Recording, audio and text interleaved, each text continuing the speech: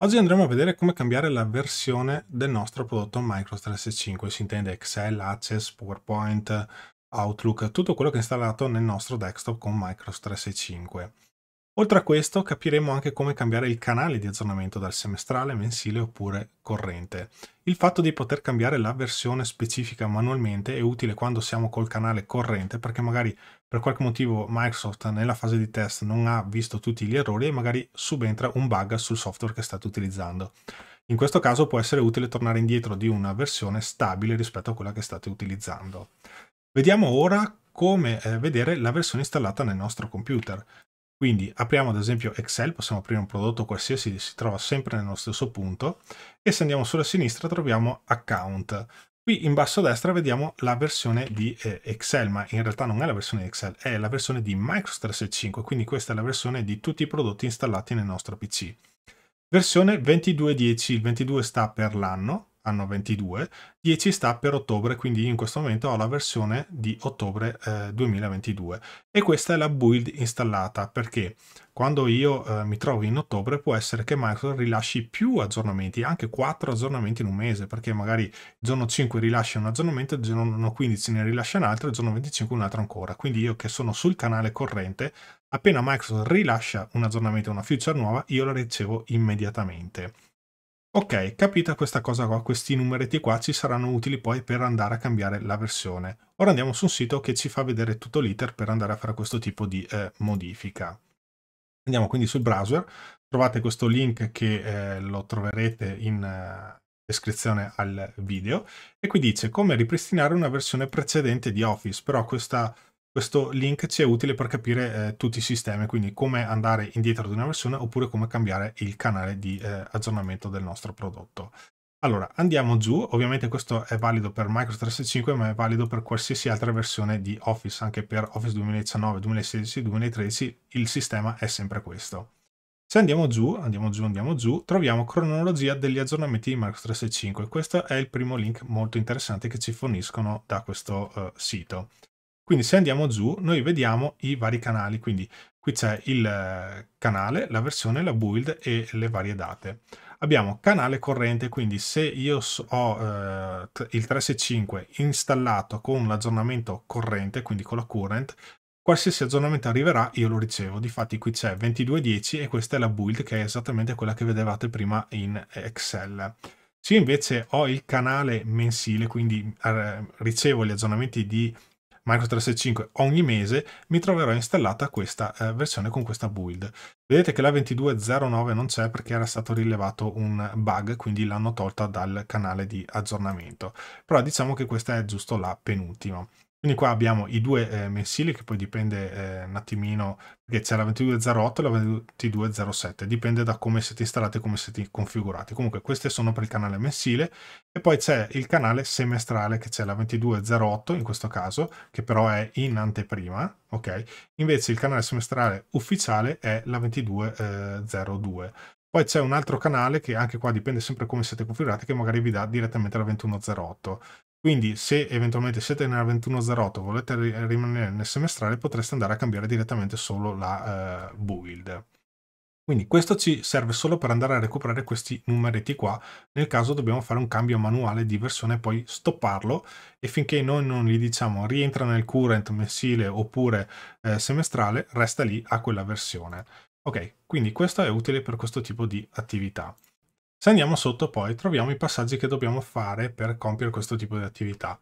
Allora, qui ci rimanda sempre all'elenco delle versioni e qui troviamo invece lo strumento di distribuzione. Questo è il softwareino che ci permette di cambiare i canali o le versioni del nostro prodotto. Quindi clicchiamo qua, ci porta a un altro sito della Microsoft e qui andremo a scaricare questo prodotto. Una volta scaricato ci troveremo con un eh, eseguibile, che è questo qua, Office Deploy Tool. Allora, qui adesso questa versione può essere che se lo scaricate tra sei mesi avete una versione differente, non cambia niente. Quindi in questo momento noi cosa facciamo? Adesso compare una schermata nera eh, che io vado a dare la conferma che lo voglio installare, faccio clic, accetto l'accordo e faccio continuo. Quindi vado ad installarlo e decido dove andare ad installare questo uh, prodotto. Quindi entro qui, vado su uh, montaggi e mi sposto sul cambio build, che è quello che stiamo uh, facendo. Una volta fatto lui avrà estratto delle informazioni. Vedete che qui ci sono questi quattro file più il setup che lui è andato ad estrarre, quindi questo era in realtà uno zip che ha estratto dei file. Per andare a cambiare la versione noi ci serve questo comando che è il setup.exe che dobbiamo lanciarlo col prompt dei comandi di eh, DOS e con questo comando dobbiamo poi andare a richiamare l'XML di configurazione dove gli diamo i parametri di eh, come cambiare la versione del nostro prodotto Microsoft 365. Infatti se torniamo nel eh, sito lui ci dice appunto che dobbiamo andare a modificare il file di configurazione e poi dobbiamo andare ad eseguirlo con questo eh, comando. È più facile di quello che può sembrare. Torniamo di qua. Allora, noi se facciamo clic destro sull'XML, facciamo edit with notepad oppure notepad se non ce l'avete il plus, e qui ci porta ad avere tutte queste cose qua che possono creare un po' di confusione. In realtà è molto più semplice di così. Quindi chiudiamo questo XML e possiamo, oppure lo modificate, potete utilizzare quello che io ho creato eh, manualmente. Quindi eh, per gli abbonati lo trovate in descrizione, altrimenti potete eh, copiarlo. L'importante è che se fate anche un file txt, poi cambiate l'estensione finale del eh, file txt con XML, così diventerà poi eh, fruibile. Qui scriviamo configuration e chiudiamo il tag, vedete che qui configuration e il tag si chiude con lo slash verso destra, sotto shift più 7. Poi scriviamo update, ora qui questo tag, vedete col punto esclamativo qui è tutto verde perché sono commentati, quindi il codice non verrà letto. Quello che dentro ha questo tag e questo tag finale non verrà letto. Se io voglio togliere il tag e far eseguire quel comando, basterà andare a togliere i due tag che rendono quella riga un commento. Ovviamente dobbiamo tenerne sempre una sola perché altrimenti passiamo al canale corrente, al mensile, al semestrale e così via. Noi qui cosa gli dobbiamo dire? Update enable true, questo significa che eh, lasciamo che il software si possa aggiornare, se noi mettessimo false andiamo ad eseguire un aggiornamento una tanto e poi rimane lì frizzato in quella release finché noi non andiamo a rieseguire questo comando mettendolo in true, quindi andremo proprio a disattivarlo con false. Target version mettiamo current, channel current. Così facendo, quando noi eseguiamo questo XML, passeremo al canale di aggiornamento del nostro prodotto Microsoft 5 al canale current, quindi appena ci sarà un rilascio da Microsoft, noi lo riceveremo subito. Qualsiasi funzionalità che viene rilasciata in modo ufficiale verrà recepita subito. Se invece vogliamo passare al canale mensile, dobbiamo scrivere tutto uguale, solo che scriviamo monthly, monthly. Se vogliamo passare a quello uh, semestrale, semi-annual, semi-annual. Ok, quindi una volta scelto il canale lo attiviamo, in questo caso io ho messo il current, e poi andiamo ad eseguirlo. Un'ultima nota, se invece vogliamo andare su una specifica release, che è quello che abbiamo eh, visto prima, se andiamo qui, abbiamo questi numeretti, quindi vogliamo passare ad esempio dalla 2210 alla 2207, perché anche la 2208 è buggata, dobbiamo prendere questi numeretti che vedete qua. Quindi li copiamo, andiamo nel nostro uh, file e li inseriamo qua giù, lasciamo questo 16.0. Allora, se avete 365, il Microsoft 365 qui sarà 16.0. e la release alla quale noi vogliamo portare il nostro prodotto. Se abbiamo una release di Office precedente, questo numero può essere differente, quindi basterà andare su eh, Excel, ad esempio, per capire che numeretto abbiamo. Se abbiamo l'Office 2016 probabilmente avrete un 15 o, o, un 16, adesso non ricordo più. Comunque si va su informazioni su Excel e ecco che qua su compare build 16.0 e poi c'è la nostra build effettiva che andiamo ad installare. Quindi se non avete il 365 e avete un'altra versione, assicuratevi di avere questo numeretto e se ce l'avete diverso andate a sostituirlo. Perfetto, capito questo? Qui basterà andare a mettere appunto la build, quando noi ovviamente disattiviamo eh, il canale sopra e attiviamo questo, noi andremo a portare indietro il nostro Excel, il nostro prodotto Microsoft 365 alla versione che abbiamo specificato qui. Ora non ci resta che vedere come eseguire questo file di configurazione. Torniamo sulla folder dove abbiamo installato tutto.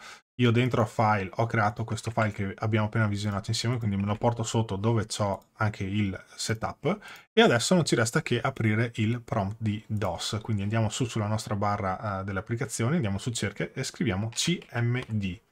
Quindi ecco che compare il prompt di comandi di DOS e lo apriamo. Ora non dobbiamo fare altro che spostarci nella cartella dove c'è il setup. Quindi come possiamo fare? Possiamo fare cd slash verso sinistra, così torniamo verso il disco C. Poi prendiamo l'indirizzo di dove è situato il nostro setup, lo copiamo, lo mettiamo negli appunti, torniamo sul DOS e facciamo eh, cd spazio e facciamo clic destro così si inserirà quello che noi abbiamo incollato con il CTRL C. Se fate CTRL V non funziona. Ok, quindi facciamo così e diamo invio. Ecco che saremo dentro la cartella del nostro uh, file setup. Ora dobbiamo seguire le istruzioni che ci diceva il sito, quindi che cosa diceva il eh, sito? Torniamo qui, lui diceva, guarda, scrivi setup, configura, configura XML, quindi torniamo di qua e facciamo un, un clic destro così lo inseriamo in automatico. Però non dobbiamo lanciare config.xml, perché? Perché nella nostra cartella il file io l'ho chiamato, ho voluto chiamarlo diversamente, config current, perché è quello che utilizzo per fare il cambio della corrente. Quindi qui dobbiamo andare a scrivere lo stesso identico nome, quindi config, rispettiamo maiuscole e minuscole per sicurezza, config current.xml. Ok, se io adesso vado a premere invio, devo avere tutti i prodotti Microsoft chiusi, Outlook, Excel, Access, PowerPoint, Word, tutto chiuso quando facciamo questa cosa. Quindi io premo invio, parte praticamente l'aggiornamento di Office. Lui parte, inizia ad aggiornare, quando ha terminato compare un pop-up che vi dice ok, ho finito di allineare la versione Excel, puoi tornare ad utilizzare i, i prodotti di Microsoft 365. Basta, direi che è tutto qui, se poi dovete ovviamente andare a cambiare di nuovo la versione basterà cambiare il file XML e poi rieseguire il setup con questa uh, procedura. Ok, se il video è stato di vostro gradimento lasciate un bel like qua sotto, iscrivetevi se non siete ancora iscritti al canale, se invece vorrete supportarmi in altro modo magari potete pensare a stipulare un abbonamento col tasto abbonati che c'è qua sotto così accederete a tutti i servizi che eh, offro, compare un video che spiega tutto quanto nei minimi dettagli Oppure se vorrete supportarmi in altra maniera ancora c'è il merchandising che trovate sotto al sito e potreste acquistare un prodotto con lo slogan BI for you, Business Intelligence per voi, che è appunto lo slogan che utilizzo all'interno del mio canale perché è la BI per eh, voi.